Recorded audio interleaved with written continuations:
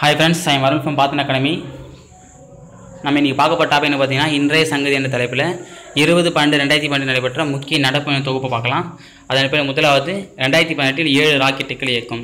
அதாவது இஸ்ரோ ஆனது அது இந்தியன் ஸ்பேஸ் ரிசர்ச் ஆர்கனைசேஷன் சொல்லுவாங்க. அது பெங்களூர் தலைமையாக கொண்டு செயல்படுகிறது. விண்வெளிக்கு வந்து செயற்கைக்கோளையும் செயற்கைக்கோளை அனுப்பி இந்தியா கண்காணித்துக்காக செயல்படக்கூடிய அமைப்பு தான் இஸ்ரோ இதன் தலைவராக இருக்குன்னா கே சிவன் என்பவர் வந்து தமிழகத்தை சேர்ந்த ஒருத்தர் இருக்கார். இவங்க என்ன பண்ணிருக்காங்கன்னா ரெண்டாயிரத்தி பன்னெண்டு இஸ்ரோ வந்து இஸ்ரோ சார்பில் இது வரைக்கும் ஏழு செயற்கைக்கோள் வந்து வீல் செலுத்தப்பட்டிருக்காங்க அதனோட வரிசையை பார்க்கலாம். முதல் வந்து ஜனவரி பன்னெண்டில் தான் முதல் செயற்கைக்கோள் அனுப்புனாங்க. அதோட பேர் பிஎஸ்எல்இ சி ஃபார்ட்டின்ற ராக்கெட் அதில் அனுப்பப்பட்ட செயற்கைக்கோள் வந்து கார்டோசா டூ நல்லா படிச்சிச்சிங்க குரூப் டூ இந்த கொஸ்டின் கேட்டிருக்கு ஏன்னா போன ரெண்டாயிரத்தி பதினேழு குரூப் ஒனில் என்ன கேட்டிருக்காங்கன்னா ரெண்டாயிரத்தி பதினாறு சார் ஆ ரெண்டாயிரத்தி ரெண்டாயிரத்தி பதினேழு குரூப் ஒன் எக்ஸாமில் ஒரு கொஸ்டின் கேட்டிருந்தாங்க. என்ன கொஸ்டின்னா ரெண்டாயிரத்தி பதினாறில் ரெண்டாயிரத்தி பதினாறு வந்து இஸ்ரோ சார்பில் அனுப்பப்பட்ட மொத்த செயற்கைகள் எண்ணிக்கை எவ்வளோன்னு மொத்தம் ஆறு கோள் அனுப்புனாங்க. ஸோ அதனால் வந்து இந்த வாட்டி அதுமாரி எதனா ஒரு குரூப் டூ ஏல இதுமாதிரி கேட்கறது வாய்ப்பு அதாவது ரெண்டாயிரத்தி பதினெட்டில் வந்து மொத்தம் எத்தனை ஆகி அமைச்சாங்கன்னு சொல்லிட்டு கேட்கலாம். அப்போ ஏழு ஆகின்னு சொல்லிட்டு பதில் எடுத்து ரொம்ப ஈஸியாக இருக்கும். ஸோ அதனால் வந்து இந்த மாதிரி நோட்ஸ் வந்து எடுத்து படிக்க பாருங்கள் அடுத்து வந்து ரெண்டாவது வந்து மார்ச் இருபத்தொம்போது வந்து GSLV GSLV F zero eight GSLV F zero எயிட்ன்ற ராக்கெட்டில் ஜிசாட் சிக்ஸ் ஏ என்ற சைக்கிள் அனுப்புனாங்க. பிஎஸ்எல்இக்கும் ஜிஎஸ்எல்இக்கு என்ன வித்தியாசம்னா பிஎஸ்எல் வந்து போலார் சேட்டலைட் லான்ச்சிங் வெஹிக்கல் அதாவது போலார்னா வெயிட் கம்மியான பொருட்களை வந்து எடுத்து போகிறதுக்கு வந்து பிஎஸ்எல்இ பயன்படுத்தாங்க ஹெவி வெயிட் பொருட்களுக்கு வந்து என்ன பண்ணால் GSLV geo synchronic launching vehicle இதை வந்து இதுக்கு வந்து பயன்படுத்தாங்க ஜியோ சேட்டலைட் லான்ச்சிங் வெஹிக்கல் அப்படின்ற மாதிரி பயன்படுத்துவாங்க மூணாவது பக்கத்து ஏப்ரல் பன்னெண்டு அன்றைக்கி என்ன பண்ணிடுறாங்க? பிஎஸ்எல்இ சி ஃபார்ட்டி ஒன் என்ற ராக்கெட் வந்து ராக்கெட்டில் ஐஆர்என்எஸ்எஸ் ஒன் ஒன் என்ற சைக்கிள் இது இது எதுக்கு அனுப்புனாங்கன்னா இந்த ஐஆர்என்எஸ் ஒன்னுன்றது இதுக்கு முன்னாடி அந்த ஐஆர்என்எஸ் ஒன் ஏ என்ற ஏனி ஒரு சேட்டலைட் இருந்துச்சு. அதுக்கு பதிலாக தான் இந்த ஐஆர்என்எஸ்எஸ் ஒன் ஒன் அப்படின்ற ஒரு செயற்கையோட திருமணம் அனுப்புனாங்க. அதுக்கு பதிலாக அனுப்பப்பட்டு தான் இந்த ஐஆர்என்எஸ் ஒன் ஏ இது வந்து PSLV C forty one rocket அனுப்பியிருக்காங்க. நாலாவது பார்த்து செப்டம்பர் பதினான்னைக்கு பிஎஸ்எல்இ சி ஃபார்ட்டி டூன்ற ராக்கெட் அனுப்பிச்சாங்க. ஐந்தாவது நவம்பர் பதினாலு GSLV mark three D two என்ற ராக்கெட் மூலமாக ஜிசாட் டூ நைன் என்ற ராக்கெட் அனுப்பிச்சிருக்காங்க. அடுத்தது ஆறாவது வந்து நவம்பர் இருபத்தொம்போது பிஎஸ்எல்இ சி ஃபார்ட்டி த்ரீ என்ற ராக்கெட்டில் ஹைசிஸ் என்ற ஒரு செயற்கைக்கோளை அமைச்சிருக்காங்க. அப்புறம் டிசம்பர் நேற்று வந்து டிசம்பர் பத்தொம்போது ஜிஎஸ்எல்இ எஃப் லெவன் என்ற ராக்கெட் மூலமாக ஜிசேட் செவன் என்ற ராக்கெட் அமைச்சிருக்காங்க.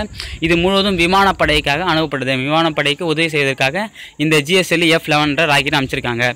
இதில் என்ன ஒரு ஸ்பெஷல்னால் இந்த அனுப்பப்பட்ட இந்த ரெண்டாயிரத்தி மூணு அனுப்பப்பட்ட மொத்த ராக்கெட்டுமே நம்ம இந்தியாவில் தயாரிக்கப்பட்ட ராக்கெட் ஆகும். உள்நாட்டிலேயே தயாரிக்கப்பட்டது கிரியோஜெனிக் என்ஜின் மூலம் உருவாக்கப்பட்டது. ஓகேங்களா? அடுத்தது ரெண்டாவதாக பார்க்கக்கூடியது தங்க காலனி விருது. Golden shoe award golden shoe award வந்து ஐரோப்பிய கால்பந்து ஐரோப்பிய கால்பந்து யூனியன் இருக்குது அவங்க என்ன பண்ணாங்கன்னா வருஷம் வருஷம் வந்து ஒவ்வொரு வந்து சிறந்த அதாவது அதிக கோல் அளிக்கக்கூடிய வீரர் கால்பந்து வீரர்களுக்கு ஆண்டுக்கு தோறும் வந்து கோல்டன் ஷூ விருது. அதான் அந்த ஷூ வச்சு தான் அடிக்கிறாங்க. ஷூ தான் யூஸ் அதாவது கோல்டன் ஷூ விருது.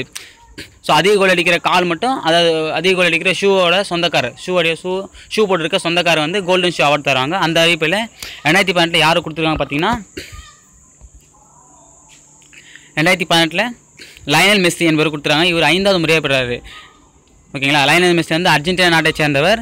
இவர் ஐந்தாவது முறையாக இந்த கோல்டன் ஷூ விருது இவர் வாங்குறாரு. இது ஐரோப்பிய கால்பந்து யூனியன் வாங்கக்கூடிய கோல்டன் ஷூவோட வாங்குறாரு. இவர் அடித்த கோல்கள் அதாவது ரெண்டாயிரத்தி பன்னெண்டில் இவர் மொத்தம் அடித்த கோல் வந்து முப்பத்தி நாலு கோல்கள் அடிச்சிருக்காரு. இவர் சாந்தானி இவர் வந்து அர்ஜென்டினா நாட்டை சேர்ந்தவராக இருந்தாலும் இவர் எந்த அணிக்காக விளையாடிருக்காருன்னா பார்சலோனா என்ற அணிக்காக தான் விளையாடிட்டு இருக்காரு அடுத்து மூன்றாவது வந்து புதிய இந்தியா செவன்ட்டி ஃபைவ் புதிய இந்தியா எழுபத்தஞ்சு திட்டம் new India seventy five plan எதுக்குன்னா வர ரெண்டாயிரத்தி இருபத்தி ரெண்டு வந்து இந்தியா வந்து என்ன தனது எழுபத்தஞ்சாவது சுதந்திர தினத்தை கொண்டாட இருக்குது. அதாவது ஆயிரத்தி நாற்பத்தேழு சுதந்திரம் கிடச்சது. இப்போ ரெண்டாயிரத்தி இருபத்தி ரெண்டு தனது எழுபத்தஞ்சாவது பிறந்த நாள் அதாவது சுதந்திர நாளாக கொண்டாட இருக்குது. ஸோ அதன் காரணமாக என்ன பண்ணாங்கன்னா மத்திய அரசு வந்து நிதி ஆயோக் மூலமாக நியூ இந்தியா செவன்ட்டி ஃபைவ் திட்டத்தை கொண்டு வந்திருக்காங்க. இதனுடைய இலக்கு நான் இதுக்கு வந்து ஒரு பர்டிகுலர் இலக்கு வச்சுக்கோங்க. என்னென்னா மொத்த உள்நாட்டு உற்பத்தியை ரெண்டாயிரத்தி இருபத்தி ரெண்டுக்குள்ளே எட்டு சதவீதமாக உயர்த்தணும்.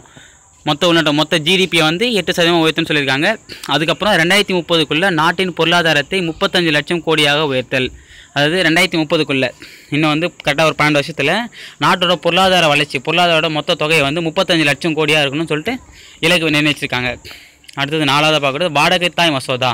வாடகைத்தாய் மசோதா பார்த்தீங்கன்னா வாடகைத்தாய் மூலம் குழந்தை பெற்று கொள்வதற்கு வாடகை தாய் வாடகைத்தாய் மூலம் குழந்தை பெற்றுக்கொள்வதை ஒழுங்குபடுத்துவதற்கான மசோதா மக்களவையில் பத்தொன்பது பன்னெண்டு ரெண்டாயிரத்தி பத்தில் தாக்கல் செய்யப்பட்டுள்ளது. நிறைவேற்றம் செஞ்சிட்டாங்க ஓகேங்களா? வாடகை தாய் மூலம் குழந்தை பெற்றுக்கொள்வதை ஒழுங்குபடுத்துவதற்கான மசோதா மக்களவையில் பத்தொன்பது பன்னெண்டு ரெண்டாயிரத்தி பன்னெண்டு தாக்கல் செய்து நிறைவேற்றப்பட்டுள்ளது. இதை தாக்கல் செய்தார்னா ஜேபி நட்டா என்ற மத்திய சுகாதாரத்துறை அமைச்சர் தான் இந்த மசோதாவை தாக்கல் செஞ்சு நிறைவேற்றிருக்காரு. ஓகேங்களா? இந்த வாழைத்தை இது இது என்ன மீன்னா அதாவது வெளிநாட்டை சேர்ந்தவங்க வந்து என்ன பண்ணுறாங்கன்னா இந்தியா அதாவது பெண்கள் வந்து ஒரு இந்த எப்படி சொல்கிறது இந்த நடிகைகளாக இருக்காங்க பார்த்தீங்க நடிகைகள் அப்புறம் வந்து முக்கியமான பிரபலங்கள்லாம் என்ன பண்ணுறாங்கன்னா தங்களுடைய அது குழந்தை பெற்று நம்மளை அழகு எங்கே போயிடுமோன்னு சொல்லிட்டு ஒரு வாடகை தாய் மூலமாக குழந்தை பெற்றுக்கிட்டு அதை வந்து வளர்க்குறாங்க. ஸோ அதனால் என்ன பண்ணுதுன்னா அது அவங்க வந்து தேர்ந்தெடுக்க வாழைத்தை வந்து எடுத்தாலும் எந்த நாட்டை சேர்ந்தவங்க தேர்ந்தெடுக்காங்கன்னா இந்தியாவை சேர்ந்த வாழைத்தை தான் தேர்ந்தெடுக்காங்க ஸோ வந்து இந்தியா வந்து மொத்தம் வெளிநாட்டை சேர்ந்தவங்க என்ன பண்ணுறாங்க இந்தியாவுக்கு வந்து இந்தியாவிலேருந்து ஒரு வாழைத்தையை தேர்ந்தெடுத்து அவங்களே குழந்தை பெற்றுன்னு அவங்க ஊருக்கே போயிடறாங்க. ஸோ இது வந்து இது வந்து இதனால் இந்திய வாழைத்தை வந்து ரொம்ப பாதிக்கப்படுறாங்கன்னு சொல்லிட்டு என்ன பண்ணியிருக்காங்க மத்திய அரசு வந்து அதை கருத்தில் கொண்டு இந்த திட்டத்தை கொண்டு வந்திருக்காங்க. இது நம்ம எப்படி ஆச்சுன்னா வாடகை வாடகை கொடுங்கன்னா வாடகை ஓனருக்கு வந்து அவசரம் இருக்கு நட்டம் வரும். நட்டம்னா நஷ்டமாக அப்போ ஜேபி நட்டான்றவர் தான். ஓகேங்களா? அப்புறம் வந்து வா நம்ம சொந்த வீட்டுக்கும் வாடகை வீட்டு என்ன வித்தியாசம்னா சொந்த வீட்டை வந்து நம்ம எப்படி வேணால் வச்சுக்கலாம். ஆனால் வாடகை வீட்டை சுகாதாரத்தோடு வச்சுக்கலாம். சுத்தமாக வச்சுக்கணும் இல்லை ஓனர் வந்து திட்டுவான். ஸோ அப்படின்னா வாடகை தாய் அதை கொண்டு வந்து சுகாதாரத்துறை அது வந்து யாருக்கு கொண்டு நட்டம். அப்போ வாடகை குரல்னா வாடகை ஓனருக்கு வந்து நஷ்டம் அப்படின்ற மாதிரி நட்டம் தான் நான் வச்சுங்க ஏன்னா எப்போ கொண்டு வந்தாங்கன்னா டிசம்பர் பத்தொம்பது ரெண்டாயிரத்தி பன்னெண்டில் கொண்டு வந்திருக்காங்க. முதல் தானியங்கி ஆய்வு ரயில். ஓகேங்களா? முதல் தானியங்கி ஆய்வு ரயில்னா நாட்டின் முதல் தானியங்கி ஆய்வு ரயில் வந்து சென்னை ஐசிஎஃப்பில் வடிவம் சென்னை ஐசிஎஃப்னா இன்டெகிரேட்டட் கோச் ஃபேக்ட்ரி அதாவது என்னென்னா இணைப்பு ரயில் இணைப்பு பெட்டியகம்.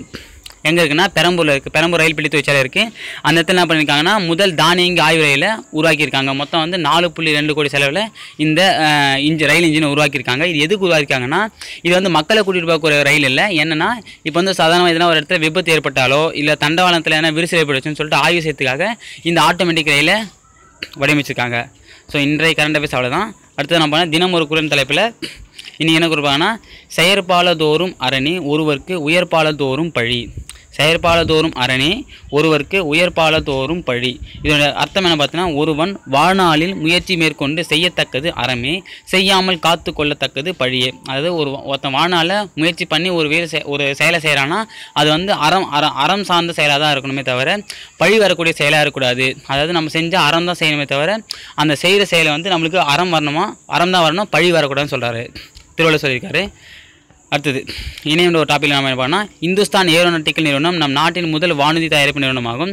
ஆயிரத்தி நாற்பதாம் ஆண்டு தொடங்கப்பட்ட இந்நிறுவனம் சிறிய ரக விமானங்கள் ஹெலிகாப்டர்கள் மற்றும் அவை சார்ந்த உப உபகரணங்களை தயாரித்து வருகிறது.